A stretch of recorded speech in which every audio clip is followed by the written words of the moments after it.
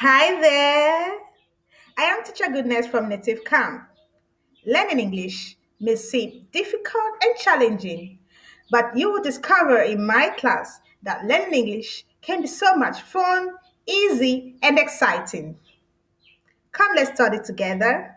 See you in my class soon. Bye.